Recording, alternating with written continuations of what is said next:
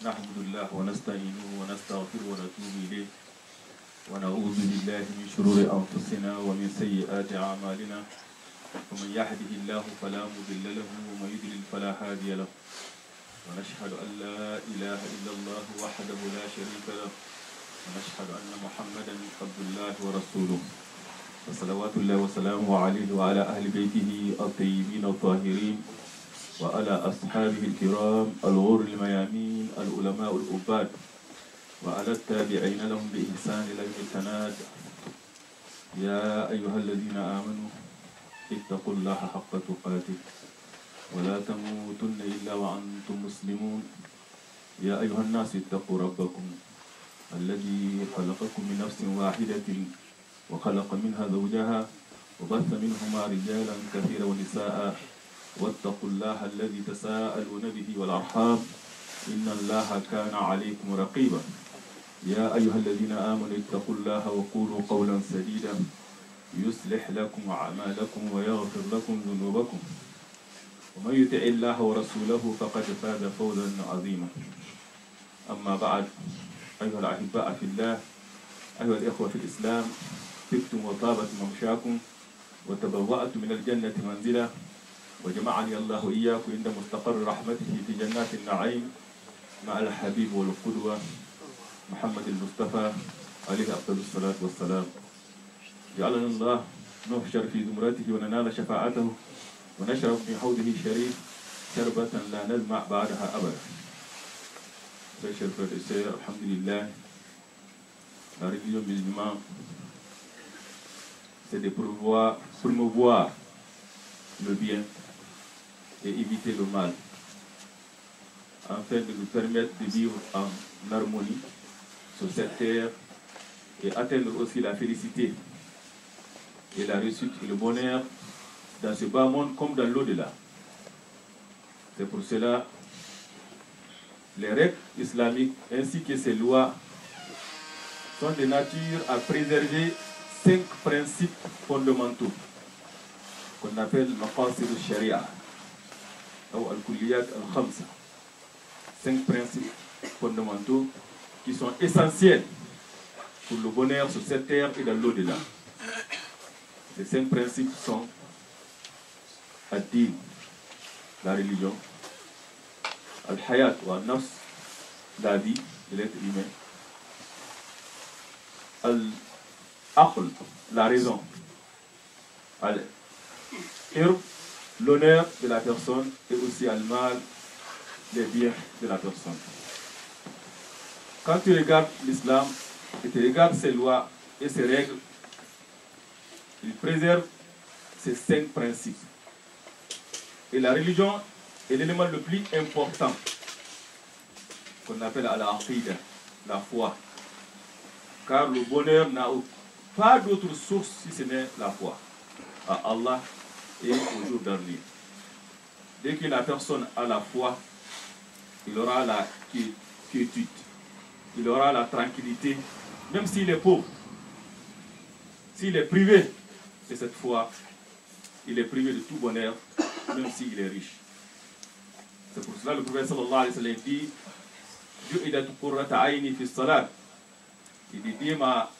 Dieu a mis la joie de mes yeux dans la prière. Dans la prière. Et c'est pour cela, dans un autre hadith, le prophète sallallahu alayhi wa sallam من قال هنا يصبح رضيت بالله ربا بالإسلام دينا بمحمد رسولا أنا الزعيم لآخذن بيده حتى أدخله الجنة Il dit quiconque se réveille le matin, il dit j'agrée Allah comme Seigneur. J'agrée l'islam comme religion. Et j'agrée Mohammed comme prophète. Il dit je lui garantis, je prendrai je lui prendrai la main jusqu'à le faire entrer au paradis. Et ce paradis-là commence ici. قال اهبطا منها جميعا بعدكم لبعض عدو فإما يأتينكم مني هدى فمن اتبع هدايا فلا يدل ولا يشقى ومن أعرض عن ذكري فإن له معيشة ضنكا Il dit, descendez vous tous, il parle d'Adam et Ève sur terre, vous serez tous avec vos descendances ennemis les uns des autres. Toutefois, si une fois un guide vous vient de ma part, quiconque suit mon, mon guide ne s'égarera et ne sera perdu. Mais quiconque se détourne de mon rappel mènera certes une vie pleine de gêne. Pleine de gêne. Donc quand la personne a la foi, il a tout le bonheur. Deuxième, c'est la vie humaine. Il est sacré en islam. Il est très haut dit ومن يقتل مؤمنا متعمدا فجزاؤه جهنم خالدا فيها وغضب الله عليه ولعنه وعد له عذابا عظيما. Et quiconque tue un croyant intentionnellement, intentionnellement, sa demeure sera l'enfer. Dieu le frappe par sa colère et le maudit. Il prépare un châtiment, un énorme châtiment. Et l'islam, tu es une seule personne, c'est comme tu es tout, le monde. Que ce soit musulman ou non musulman, une vie innocente, il est sacré en islam. Vient alors la raison. La raison, Dieu nous a désignés comme vicaires sur cette terre, afin de faire le bien et s'écarter du mal. Cela ne peut pas se faire si on ne peut pas discerner entre ce qui est mauvais et ce qui est bien. Donc c'est la raison qui nous donne ce, droit d'être vicaire sur cette terre. C'est pour cela que l'islam interdit tout ce qui est de nature à altérer ce, ce- ce discernement, que ce soit l'alcool ou la drogue ou d'autres choses. Donc dans l'islam, quand vous voyez une loi qui interdit ceci ou qui oblige ceci, c'est pour préserver l'un de ces cinq principes qui sont fondamentaux en islam.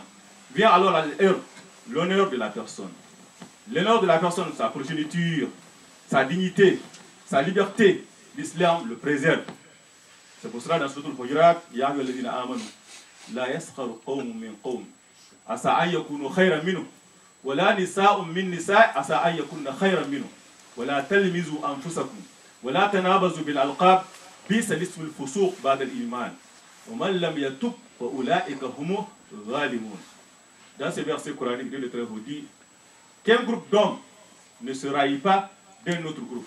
Il se peut que ceux-ci sont meilleurs que eux, ni les femmes aussi doivent le faire.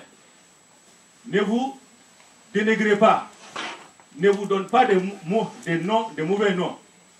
Il dit quiconque ne se répand pas sont ceux les injustes. En attendant, c'est comme si ces péchés-là c'est rare que tu trouves une personne qui ne commet pas déjà de péché. péché.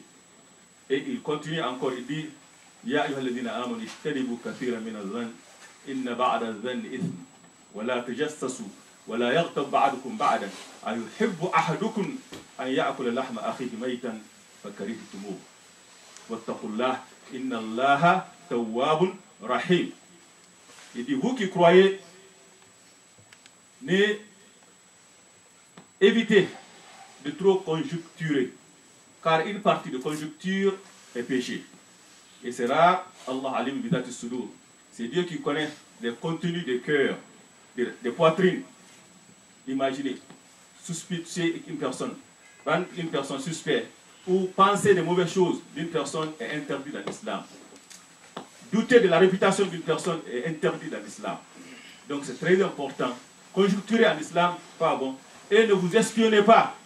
Quand tu parles, quand tu atteins, quand tu vois une personne jaloux, hainée, rancunée, ça commence par l'espionnage. Quand la personne, la personne qui est jaloux, qui est hainée, qui n'aime pas les bonnes choses pour des gens, tu le trouves toujours, il espionne les autres. C'est interdit en islam. Ne vous espionnez pas. Ne vous médisez pas. La médisance, c'est comme manger la chair de son frère.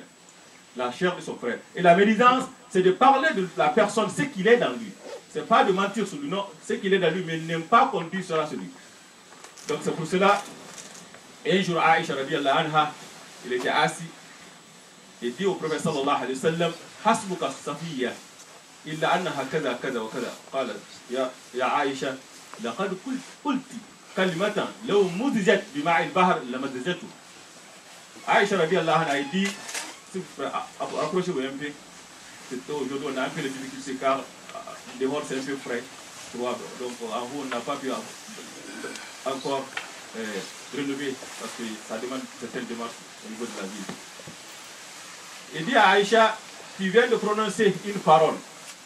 Si on le mélangeait de la mer, l'eau de la mer, toute la mer de ce bas monde, changerait la colère et le goût.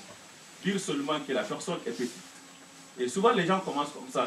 Ils parlent de bonnes choses, que cette personne est bonne, il est tel, mais sauf qu'il est ça. Aïcha a dit, c'est le prophète sallallahu alayhi wa sallam, ce qui vient dire comme parole peut changer la couleur et l'odeur de toute cette mer. Pour dire la gravité de ça. Et souvent tu vois les gens nous parler de halal et haram quand ça concerne la viande. Ils te demandent est-ce que la viande est halal, est-ce que le poulet on peut manger ou telle chose? Alors que chaque jour, ils déjeunent sur la chair de ses frères. Car parler sur le dos des personnes, médiser une personne, c'est comme manger sa chair. Donc l'islam l'interdit. L'honneur de la personne est préservé dans l'islam.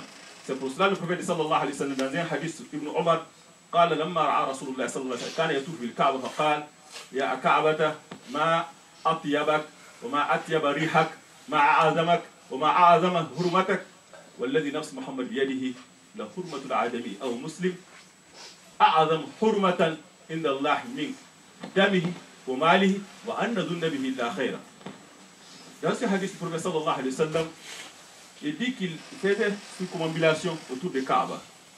Et il dit Kaaba, tu es majestueux. Ton inviolabilité est très grande. Tu es sacré. Mais l'inviolabilité du croyant, la vie du croyant est plus sacrée que toi. Son argent est sacré plus que toi. Et son sang est plus sacré que toi. Si tu touchais une brique de Kaaba, tout le monde se levait. Mais, aujourd'hui, malheureusement, la vie est devenue tellement banale que ce qu'on voit à la télé ou à, l'internet, que Dieu nous en garde et que Dieu met, la paix dans nos pays respectifs. La vie est devenue très banale qu'on comme c'est pour nous. Alors que c'est très grave d'enlever, doter une vie innocente. Et, car la vie dans l'islam est sacrée Le bien de la personne, la propriété de la personne privée est, est protégée dans l'islam et c'est quelque chose aussi sacré. Dans un verset qu'on a dit, le dit Ya ayyuha alladhina amanu la ta'kulu amwalakum bainakum bil batil illa an takuna tijaratan an taradin minkum ولا تقتلوا أنفسكم إن الله كان بكم رحيما ومن يفعل ذلك عدوانا وظلما فسوف نسليه نارا فسوف نسليه نارا وكان ذلك على الله يسيرا dans ce verset coran dit le très dit vous qui croyez que les uns d'entre vous ne mangent pas des biens des autres illégalement mais qu'il y ait des négoces légaux et conformant à ça et que ça soit par consentement mutuel donc on ne prend pas l'argent de l'autrui en islam c'est interdit c'est sacré le bien d'une personne c'est pour cela l'islam a interdit le vol et a interdit aussi la tricherie. Le prophète sallallahu alayhi wa sallam, Man rachana minna. Man rachana minna. C'est pour cela, même prendre la dette, la dette que la personne prend, tu dois être sûr et certain que tu pourras vraiment s'acquitter de cette dette. Cette, cette dette. C'est pour cela, quand une personne meurt, quand une personne meurt dans le temps du prophète sallallahu alayhi wa sallam, il ne priait pas sur la personne qui a des dettes. Dans un hadith de Abu Qatada, قال جيء برجل إلى رسول الله صلى الله عليه وسلم فقال هل ترك دينا قالوا دينارين يا رسول الله قال هل ترك وفاء قالوا لا قال صلوا على صاحبكم فقال أبو قتادة هما علي يا رسول الله صلى عليه Dans ces hadiths du prophète sallallahu alayhi wa sallam, on amena une personne morte pour prier sur la personne, pour faire la prière funèbre. Le prophète sallallahu se demandait alors Est-ce qu'il a des dettes Il a laissé des dettes derrière lui. Il dit oui, il a laissé des dettes. Est-ce qu'il a laissé quelque chose pour s'acquitter de cette dette On dit non. Il dit priez sur votre mort. Et le prophète sallallahu alayhi wa sallam tourna le dos pour s'en aller. C'est à ce moment qu'Abu Qatar a dit alors, le prophète sallallahu alayhi wa sallam, je, le prends en charge. Il dit tu le prends en charge, c'est à ce moment que le prophète sallallahu alayhi wa sallam a pu prier sur le défunt. داس حديث أبو قطر يقول كلما لقيني رسول الله صلى الله عليه وسلم سألني هل أتيت أقول لا. حتى إذا لقيني حتى لقيني يوما قال لي هل أتيت قال نعم. قال اليوم. قال الآن بردت جلدته. داس حديث بروفيس صلى الله عليه وسلم إتي أبو قطر دي شاك فوا كي لو بروفيس مي رانكونتري مي ديماندي اسكو تي اكيتي دي سيت ديت جي لي ديزي كي نو il me il me me demandait jusqu'à un jour il me demanda Est-ce que tu as donné, tu t'es acquitté de cette dette Il dit oui. Il dit C'est maintenant, c'est maintenant qu'il est sauvé. C'est maintenant que sa, peau est devenue, ça a eu la déluge. Et ça, c'est très important. C'est pour ça que le savoir religieux dit que la personne endettée, s'il meurt, il n'a pas droit au déluge de l'au-delà, aussi longtemps qu'on ne s'est pas acquitté de, sa dette, de ses dettes. De ses dettes. D'où vient l'importance des testaments en islam? D'où vient l'importance des testaments en islam C'est pour cela qu'Ibn Omar رضي الله عنه يقول قال رسول الله صلى الله عليه وسلم لا ينبغي لأحد عنده ما يوصي به أن يأتي عليه ليلتان أو يبيت ليلتان ليلتين وفي حديث مسلم رواية مسلم ثلاث ليال إلا وصيته مكتوبة عنده Il dit qu'il n'appartient pas à un musulman, qu'il a quelque chose à recommander, de passer deux nuits sans avoir son testament bien rédigé, écrit auprès de lui. Légalement, ça c'est l'islam, c'est quelque chose de très important. Pour le واستغفر الله لي ولكم واستغفر الله وتوبوا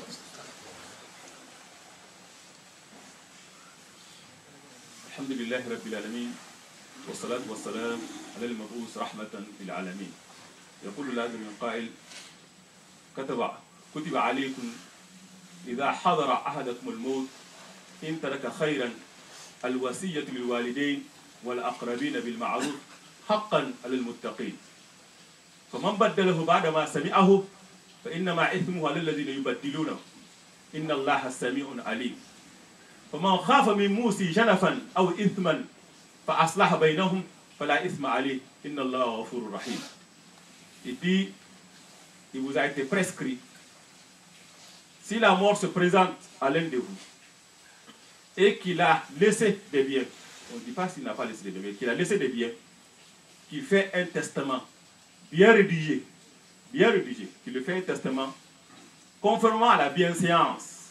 Et c'est un devoir pour les pieux. Le mot conformément à la bienséance, alors qu'il s'est dit prescrit, quand il dit c'est prescrit, les gens disent c'est obligatoire. D'autres non, il a ajouté le mot bienséance. Quand on dit bienséance, ça veut dire que ce n'est pas une, obligation. Les savoirs religieux, pour ça, ils sont divisés en trois.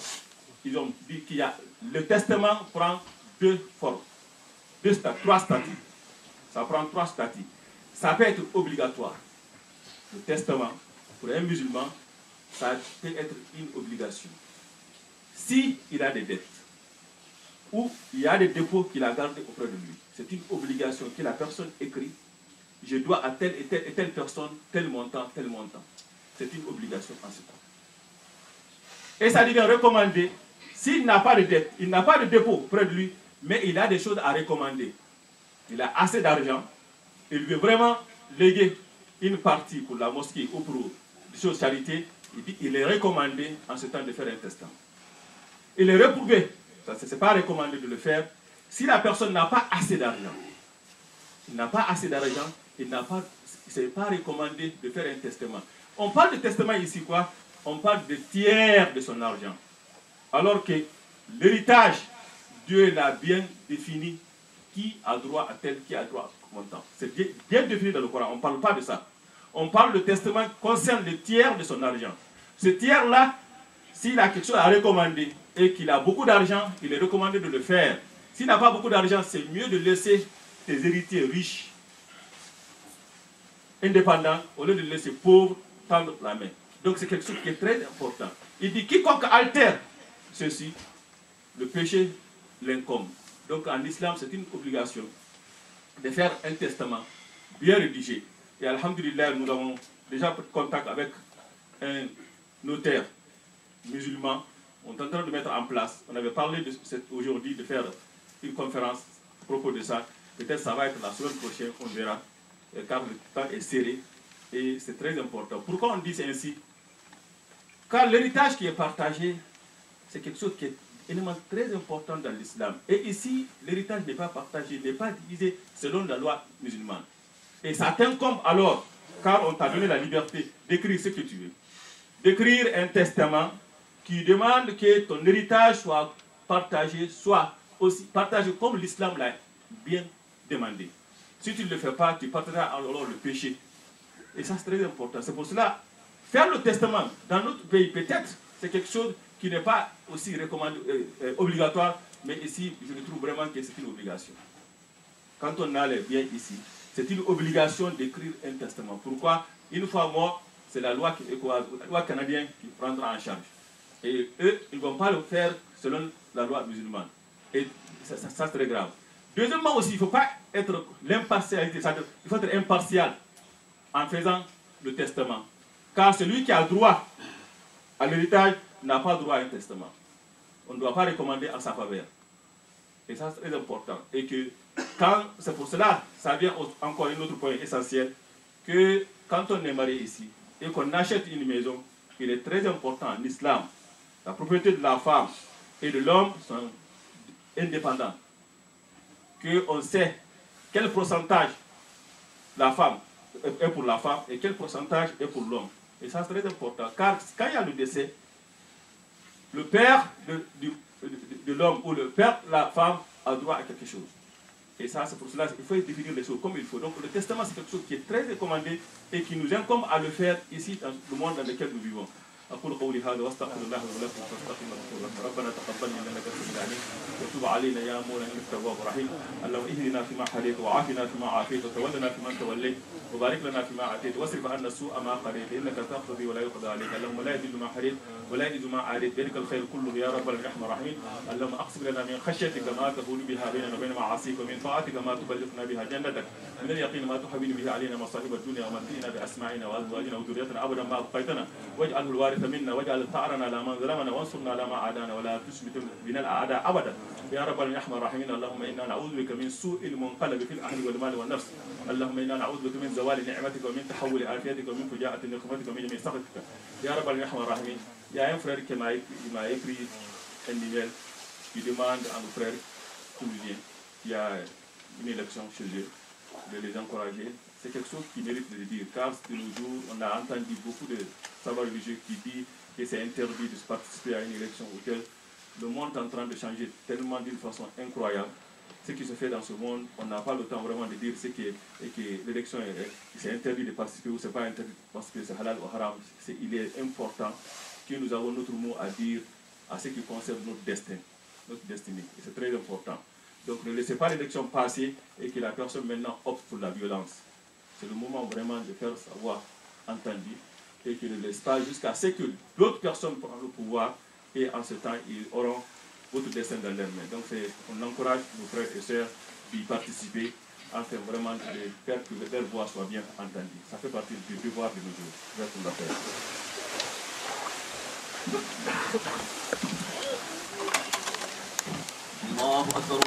pour.